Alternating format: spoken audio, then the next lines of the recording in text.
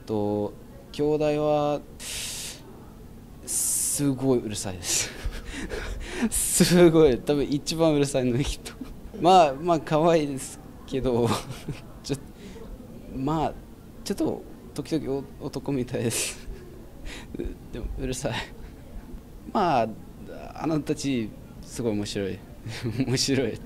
大好き。けどうるさい。すごいうるさい。